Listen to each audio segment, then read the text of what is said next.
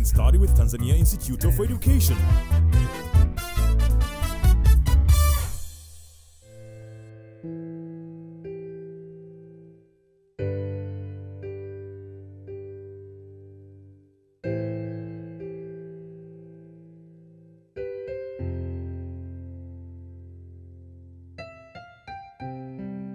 Imagine you only had a piece of chalk, a length of string, and a ruler, and you needed to draw geometrical objects accurately.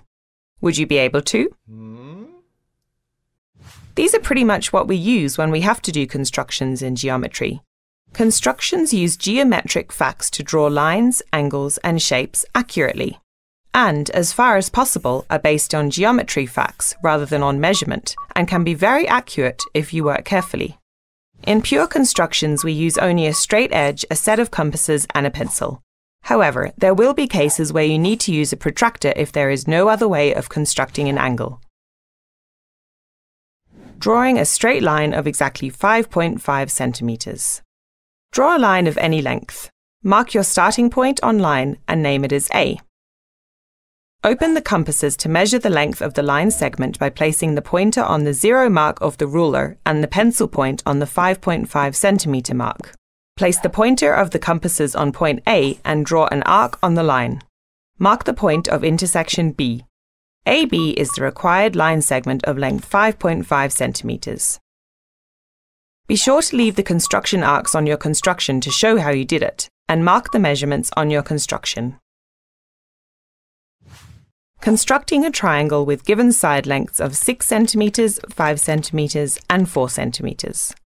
Remember, it's easiest to choose the longest side as the base of the triangle, so start by constructing a line of 6 centimeters. Label the endpoints A and B. Also label the lines as you draw them. Open the compasses to a radius of 5 centimeters. Place the compass point at point A and draw an arc above the line. Open the compasses to a radius of 4 centimeters.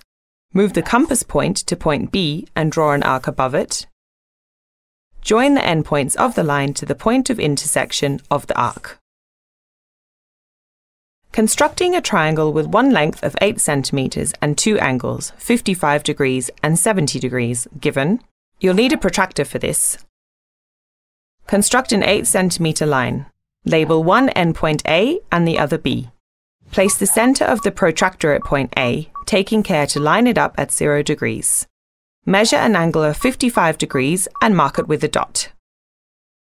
Join point A to the dot with a ruler. Move the protractor to point B. Measure an angle of 70 degrees and mark the angle with a dot. Join point B to the dot with a ruler. Okay, let's move on. The first construction we're going to learn is how to bisect a given line segment. Let's see how to do this with line segment AB. Step 1. Place the compass point at point A of the line segment AB. Step 2.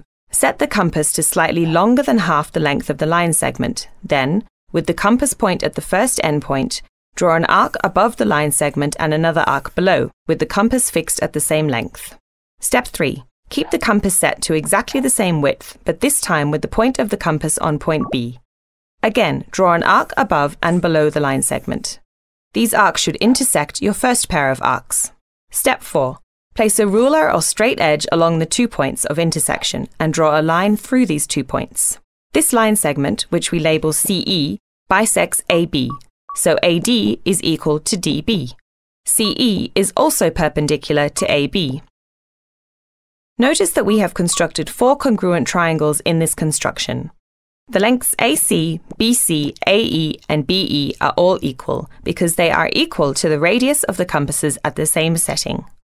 In triangles ADC and BDC, we know that AD equals BD because we bisected AB by construction. AC equals BC by construction and CD is a common side. From this, it follows that angles ADC and BDC are right angles, as they are equal and adjacent to each other on a straight line. From here, we can also prove that all triangles are congruent. Notice that CBEA is a rhombus with all sides equal. We know that the diagonals of a rhombus bisect each other at right angles. An important construction to know, which is used as the basis for other constructions, is the construction of the bisector of a given angle.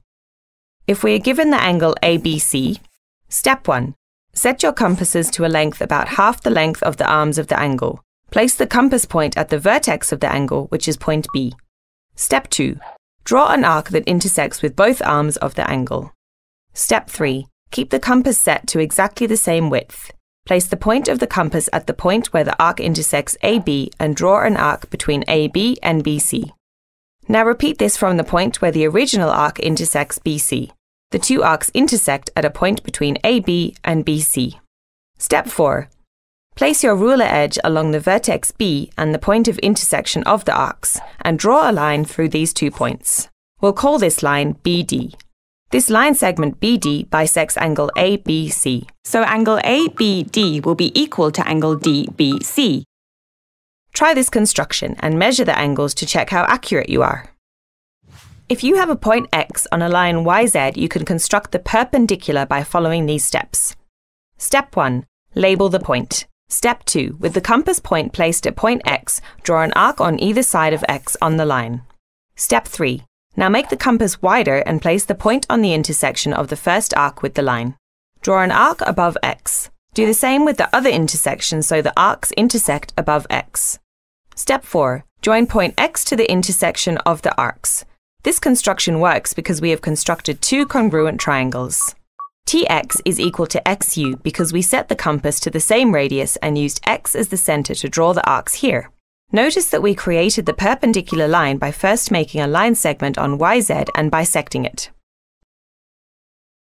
If you have a line yz and a point x, you would construct the perpendicular from x to the line as follows. Step 1. Label the line and the point. Step 2. With the compass point at x and the compass set to the same width, Draw two arcs on YZ. Step 3. Now put the pointer of the compass at Y and draw an arc below the line YZ between Y and Z. Then, keeping the compass at the same width, construct another arc to intersect the first. Step 4. Join point X to the intersection of the arcs. Notice that we created the perpendicular line by first making a line segment on YZ and bisecting it. Let's have a look at another method for constructing a right angle. This is based on a theorem from circle geometry that the angle in a semicircle is a right angle. In other words, if the diameter of a circle subtends an angle at any point on the circumference, this will be a right angle. To construct an angle with a measurement of 90 degrees, follow these steps. Step 1. Draw a line segment AB of any length. This will become one arm of the angle and the right angle will have A as its vertex. Step 2. Mark a point above AB. Its exact position is not important. Label it D. Step 3. Set the compasses on point D and set their width to the endpoint A. Draw circle with center D and the radius DA. The circle intersects AB at C. Step 4.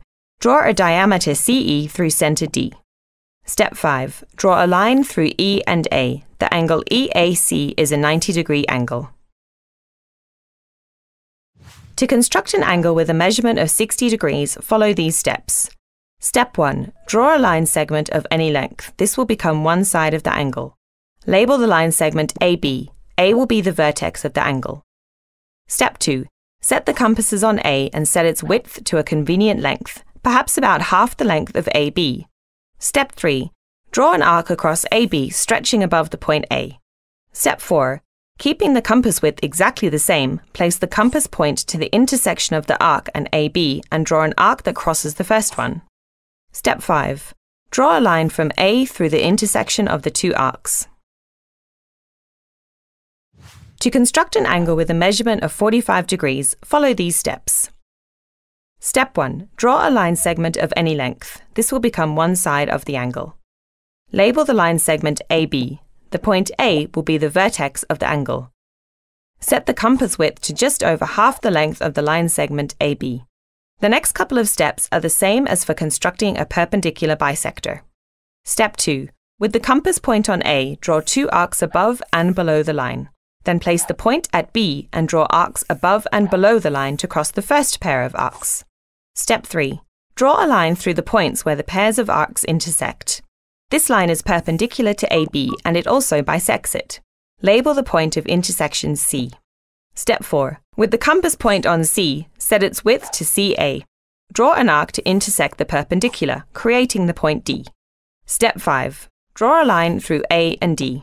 The angle DAB has an angle of 45 degrees.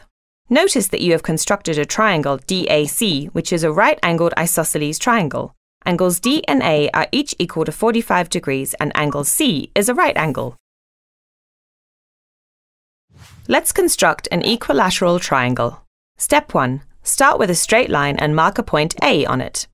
Step 2. Set the compasses to the length of the side of the equilateral triangle that you want and draw an arc through the line, making it extend above the line. Mark the intersection at the line segment B.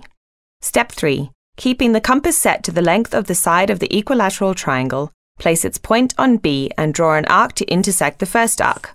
Mark the point of intersection C. Step 4. Draw a straight line through A and C and another straight line through B and C. Triangle ABC is an equilateral triangle.